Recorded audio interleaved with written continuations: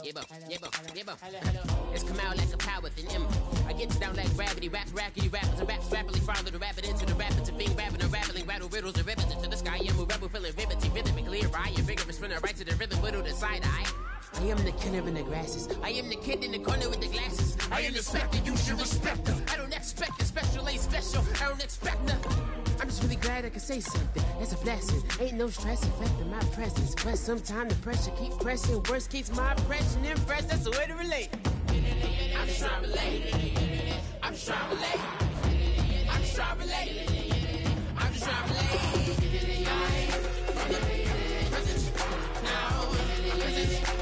I now.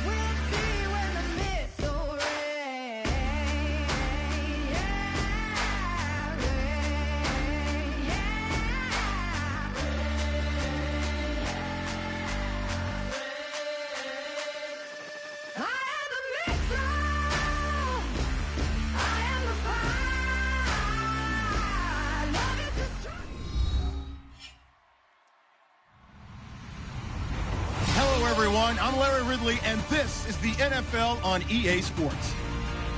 We should be in for some fun football today as a very good offense will be on the field. The Bengals are top 10 in total yards, and they go up against the Browns defense that will need to be at the top of its game.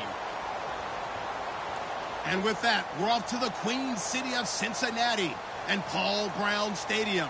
We join our announcing team of Brandon Gaudin and Charles Davis. Larry, we are in the place the folks here call the jungle, and that's Paul Brown Stadium in Cincinnati. Today, we've got a matchup here in pivotal Week 7 between the Cleveland Browns and the Cincinnati Bengals. Getting toward the halfway point of the NFL season, Week 7 is underway on EA Sports. And a good return. He's across the 35-yard line, right around the 36.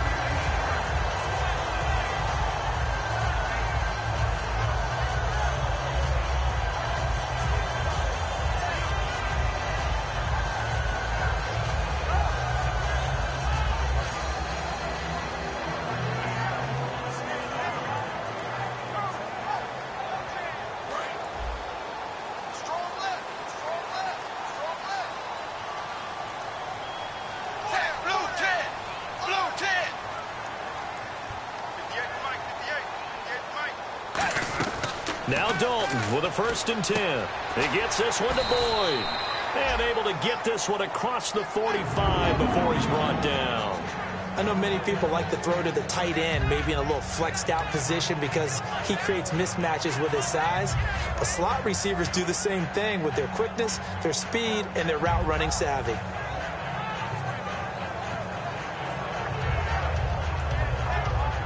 Offense comes to the line now, first and 10.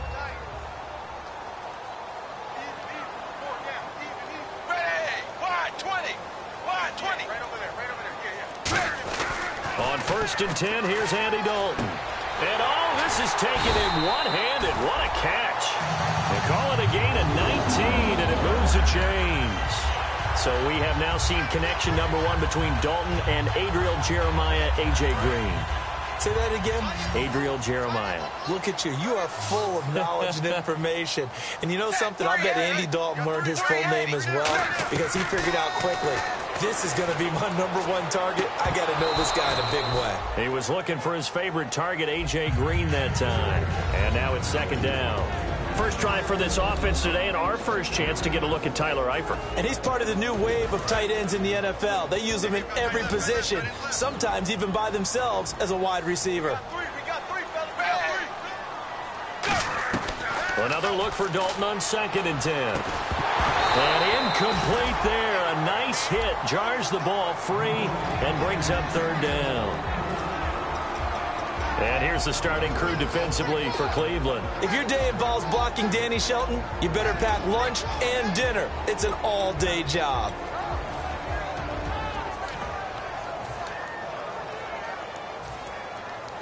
So incomplete on second down. Now they'll look to convert here on third.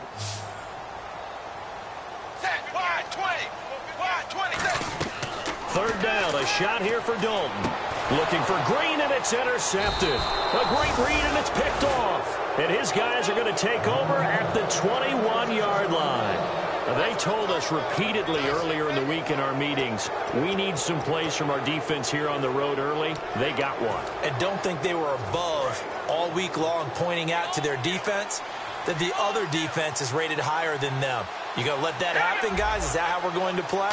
And they responded to the challenge. This is the sixth rounder from Eastern Michigan, Darius Jackson. And give him four yards there. It'll be second and six. And now this offensive unit, we get a look at their starters. They put up good numbers last week looking to carry that forward. Yeah, Brandon, they saw the numbers from last week. They expect to at least replicate them. They think that they can put up bigger numbers this week. They are a confident bunch. On second down, here's Kessler. He's got his man on the crossing route. 18 yards the gain for number 18. They hit that crossing route really well. Excellent timing, puts it right on him, and he keeps running. Yeah, turned it upfield for good yardage.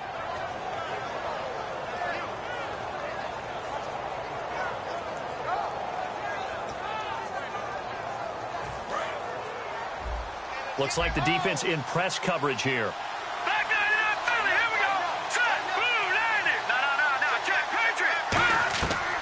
Kessler on first down. Andrew Hawkins has it complete. And he's brought down. A good pick up there of 20 yards. A great job pulling that one in from a guy, as we know, who can really blaze. He's got a lot of speed. And that speed can work for him so many different ways. Sometimes he just takes off and goes and just runs past people. Sometimes you get people to back off so far that you can catch everything underneath. But still, at some point in the game, you probably have to make some contested catches, right? Sometimes you have to go up and beat a defender for the football. He has that in his arsenal as well. Showed it right there. And no escaping this time as he'll go down. They got him for a sack.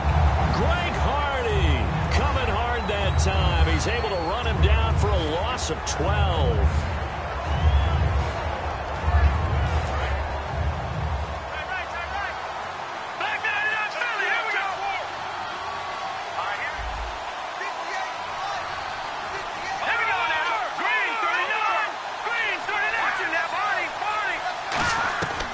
Looks to throw on second down. And his throw here is incomplete. He was looking for his tight end, Jacob Tamme there.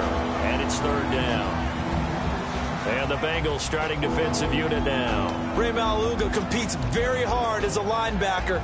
Very difficult to block and keep out of the play.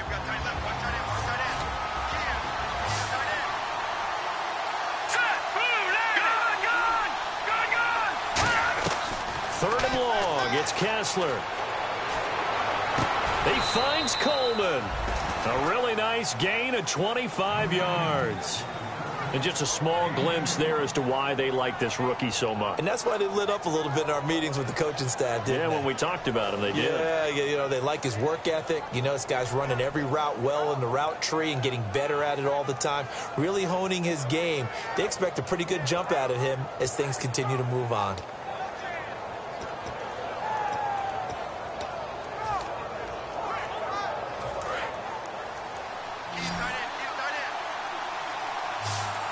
Looking to jam the receivers at the line here. Press coverage look defensively.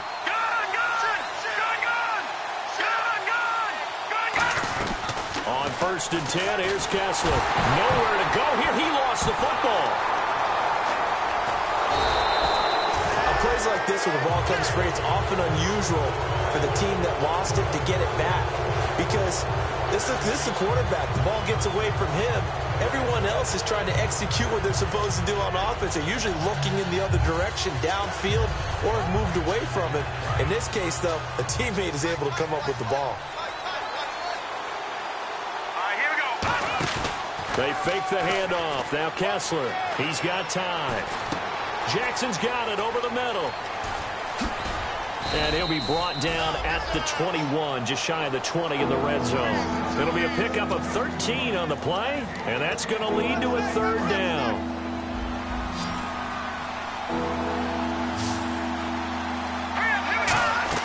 On third down, Kessler.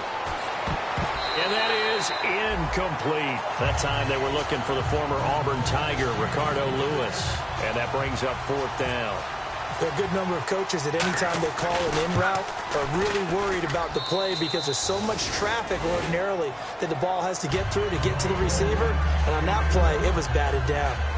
So our initial drive here this afternoon results in three. I'm not sure that was a statement necessarily, but getting points on the road, never a bad thing. No question about it, Brandon. You had a crowd that was all fired up during pregame introductions, yet you're able to quiet them just a little bit by taking the early lead. Parkey now following the made field goal to kick this one off. Fielded about a yard deep. And with a new rule, that decision to bring it out will cost him about five yards as he only gets to the 20. The Bengal offense now gets set to head back out onto the field. Looked like they had something going last drive. Then the interception happened. Will they recover? The memory they need to keep with them is that they did have something going. They were moving the ball on offense, had a nice sequence going.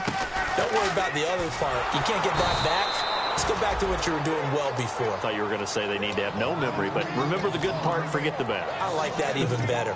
While we know that the identity of this offense is to throw the ball, they've got to run it every so often, if for no other reason than to tamp down the pass rush. They can't let them just tee off and get to their quarterback. It's already second and 12. The defense hoping to push them back more.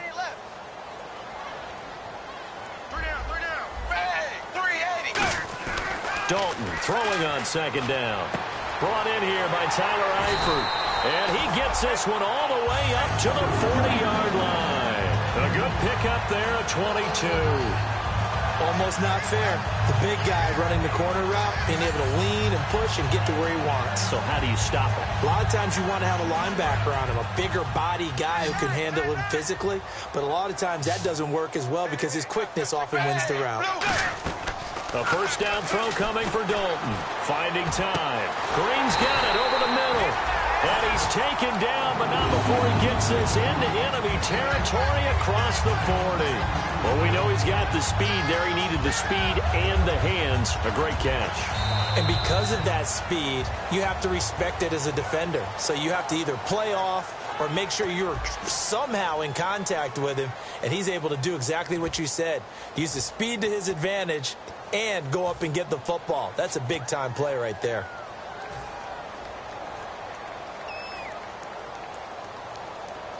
So after that big play, let's see if they can catch their defense maybe on their heels.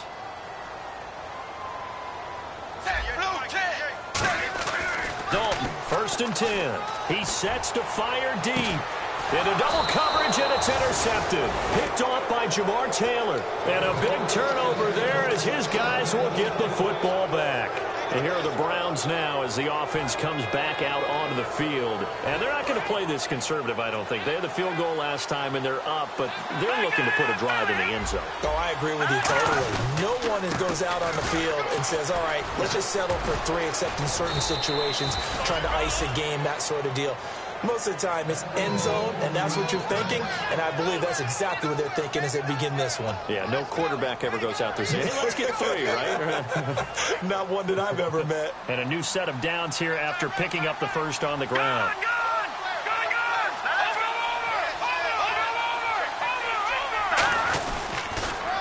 again with Jackson. And this one goes nowhere. Losing yardage back at the 22. So a loss of five, and it'll be second down. There are so many times during camp and practice that you get bored as a player doing regular drills. But how about that shed and skate drill right there by the linebacker? You do it each and every day. Get the blocker away and get into the backfield and make a big-time tackle. That's what we just saw. He's going to let this one go deep. It's caught inside the 25. And all the way in. Touchdown, Cleveland. Their dangerous wide receiver, 78 yards. And the Browns add on to their lead. It's up and good, and that'll increase their lead to 10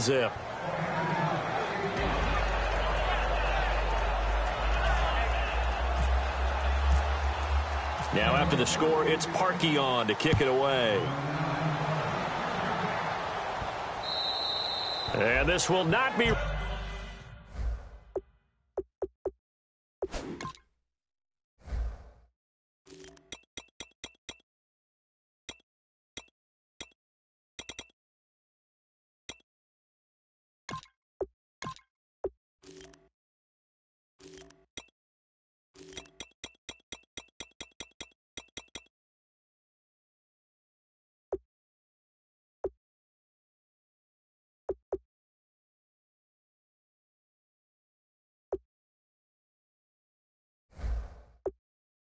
Returnable, it's out of the back of the end zone for a touchback.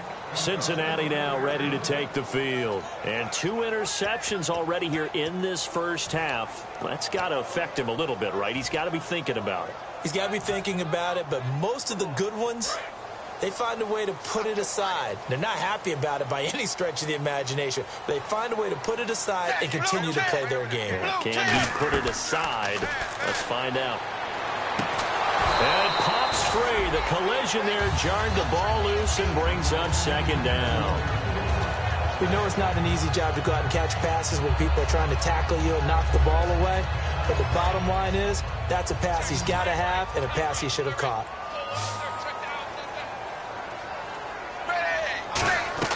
Second and 10. Dalton once more. Complete to the right side. It's Eifert. The reception good for seven. It's third down. Obviously, this has not been a banner game throwing the football.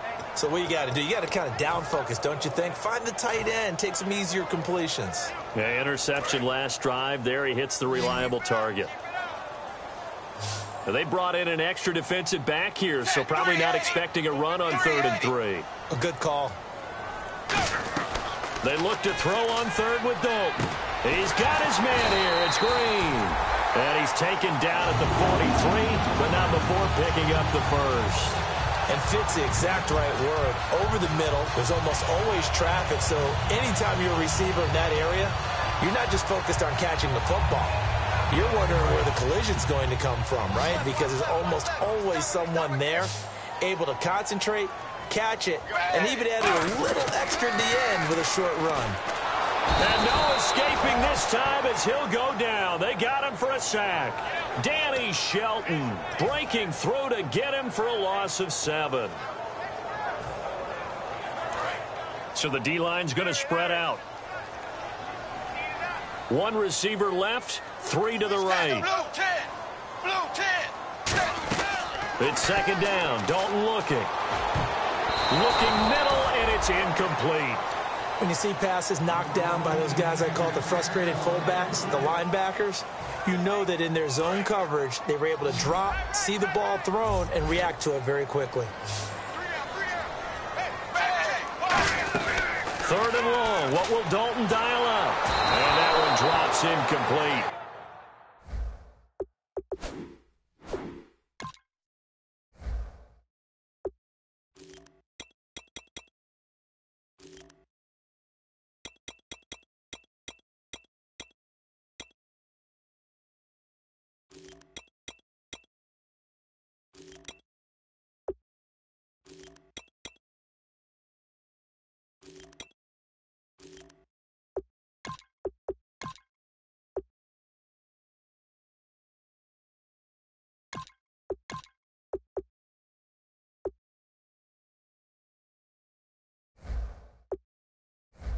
As he got popped as he was throwing it.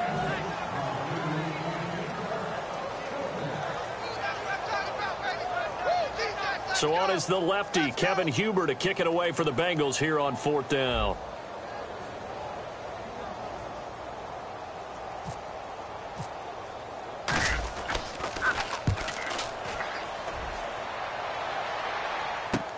Taking it about the 16. A 46-yard punt, eight yards on the return. And the Browns will take over first and 10. Heading out as the Cleveland offense now as they get set to take over here. And they will simply, Charles, be looking to duplicate what they did last drive when they were able to push it in for six. And they hope it'll be that easy, right? To be able to take exactly what happened before, replicate it. They'd have to make a few additional changes along the way because I'm sure the defense will make some adjustments, but they've got to have great confidence having scored the last time out. So in the second quarter, he's already up over 100 yards receiving now. And isn't 100 the magic number for a really good game for a receiver? So he got a chance to really shatter that and have a profound effect on this game. Over the middle, the catch by Coleman. Give him 11 yards that time and a new set of downs. And boy, they had high praise for this rookie receiver when we asked the coaches about him, didn't they? They certainly did, and obviously they liked his measurables, otherwise they wouldn't have brought him on to the... And no escaping this time as he'll go down. They got him for a sack. Ray Maualuga in there to sack him for a loss of six.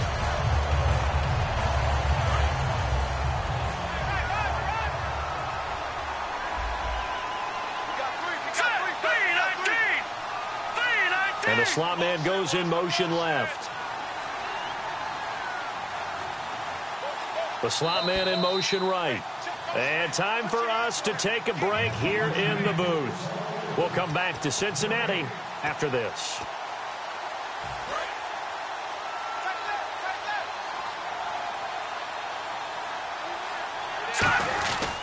They'll run it with Jackson. And nothing doing here as this time the run maybe gets him back to the line of scrimmage, but that's it. They'll lose a yard, and it brings up third. All right, partner, let's go back over the last couple of plays. Sack, loss of yards on a running play, not exactly the sequence that an offensive coordinator gets comfortable with when calling plays. Looking to throw, Kessler. He's going to flip one out here to his running back. And he'll be brought down at the 48-yard line. They'll give him eight on the play, and that's going to make it fourth down. Partner, I think that completion takes the definition of dink and dunk to a different level, doesn't it? It does, and the defense was right there, kind of played into their hands.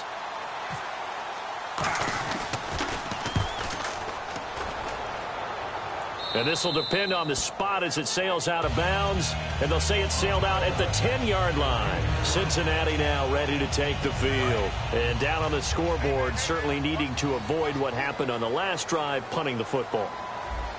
Sense of urgency has to take over for them here. They know the score. They know the situation.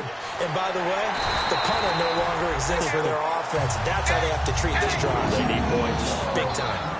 In recent years, the slot receivers really gained stature in the NFL because they can do so many things. Yes, they can line up wide like your normal wide receiver, but to have that kind of courage and toughness to run routes in the middle of the field and become dependable targets for their quarterbacks and move the sticks, those guys are worth their weight in gold.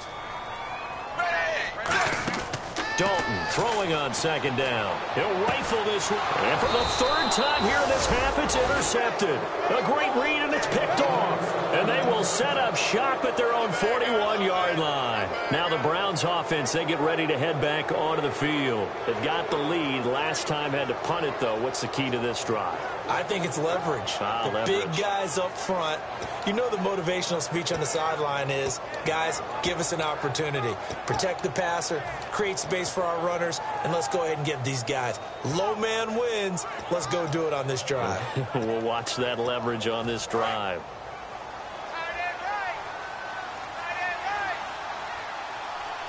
All right, here we go.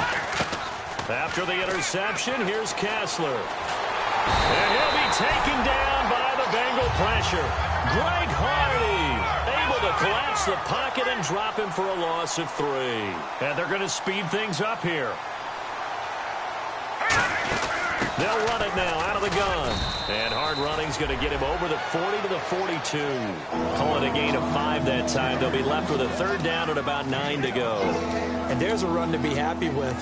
Good, solid yardage. You'll take that anytime you hand the ball to a back. All right, here we go. Throwing is Kessler on third down. Surveying the field. Now he'll escape to his left. And this is incomplete with a clock showing just three seconds left. There's no doubt that Adam Jones had a checkered career, but he's playing his best football after the age of 30. That pass breakup there, another indicator.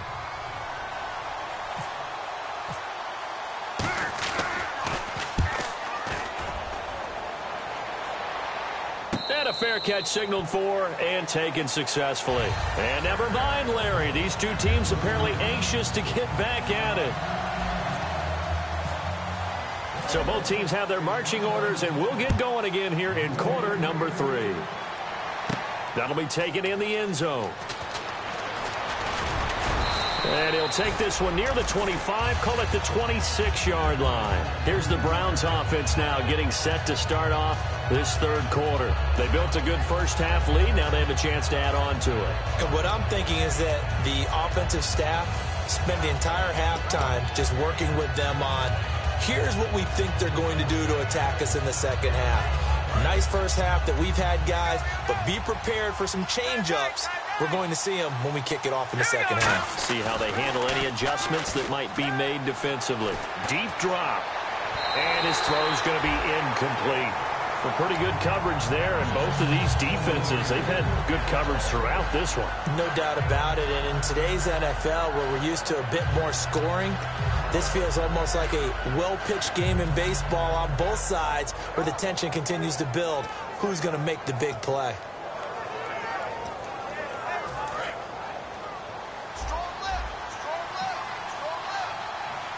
Hurry up, here we go. Kessler will try again on second down. And this time he's got the hook up. It's complete. And they'll get nine there as that sets him up better for third down.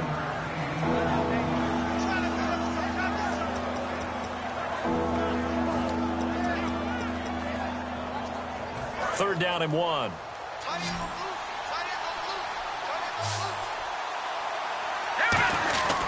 On the ground, this is Jackson. And he's taken down at the 43, but not before picking up the first. It's an eight-yard pickup and leads to a new set of downs. Third and one, partner. No need to be fancy there. Just use some force and move forward and pick up the first down.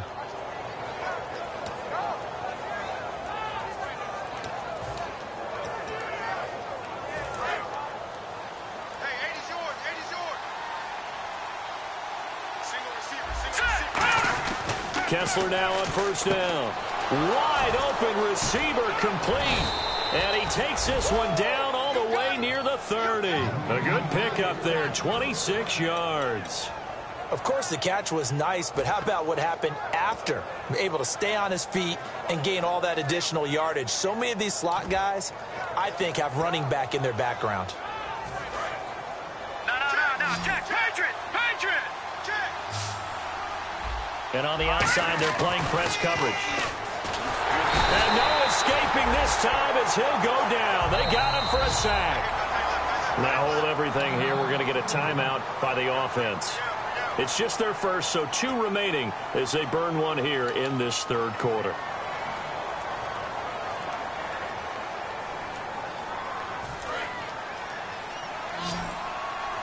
Detroit, Detroit.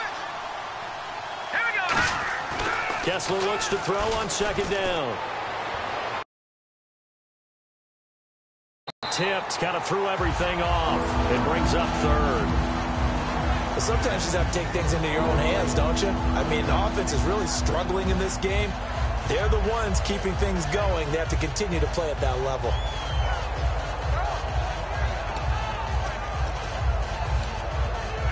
Third down here for the offense after the incomplete pass. Third and long, it's Kessler. He's got time in the pocket. The Bengal pressure gets him that time. Down he goes. Carlos Dunlap in there to drop him for his fifth sack of the year.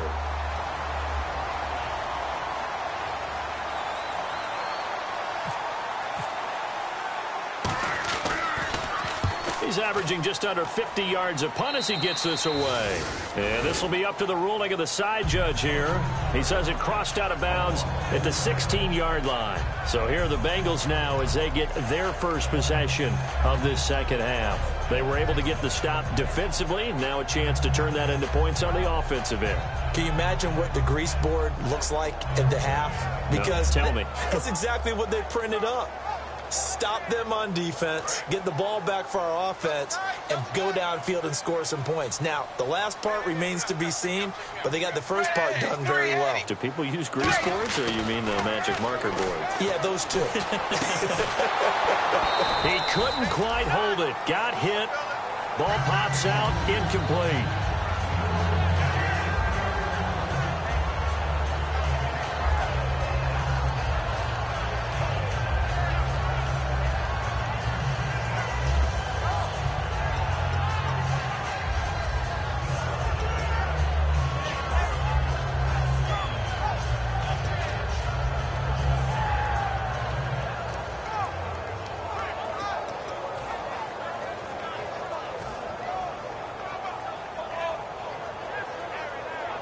So second and 10 here. And some changes here as the D-line separates some. Time running out here on the play clock.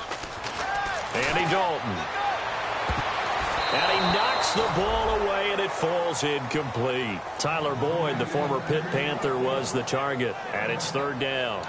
Well, we're not playing three yards in a cloud of dust football anymore. I kind of get why those old school coaches sometimes didn't want to throw the football. Because if it's popped up in the air, it almost turns into slow motion, and both sides trying to get to the football, and you're holding your breath wondering whether it's going to go good or bad for your team. One receiver left, three to the right.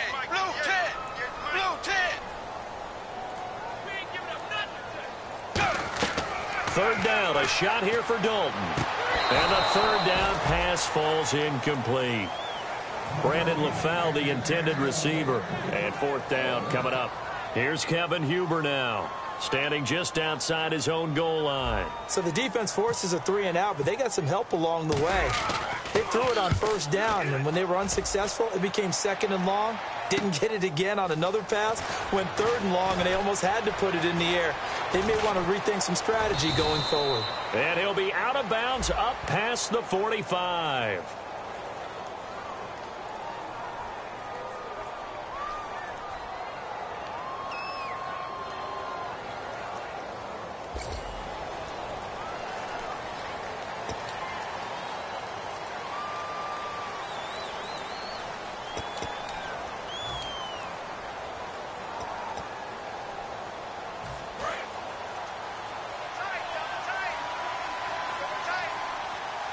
They come out here in the I. Now it's Jackson. And he's got room.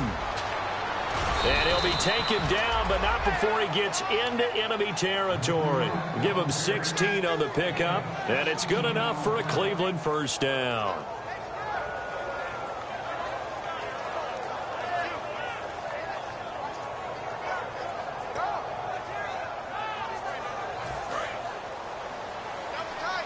And no press coverage here. They are backing off in the secondary.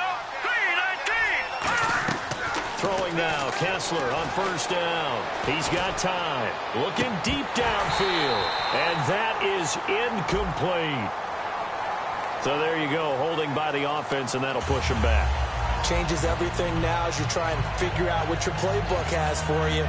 Longer yardage situations, tougher to execute and pick up first downs.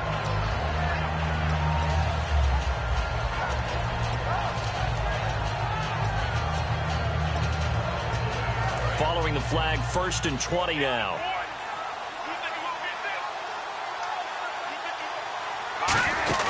They'll run it now out of the gun. And he'll take this one across the 45 up to about the 46-yard line. Four yards on the pickup. It'll be second down. Not a run that you're going to write home about, but still a good first down run. That's what an offense calls staying on schedule. Three to four yards on first down, you're set up very well for the rest of the drive. See if they stay on the ground for second down. They'll put two receivers left, two to the right. On second down, here's Kessler. Nowhere to escape, and he goes down. Carlos Dunlap in there to get him, and that's sack number six for him on the year.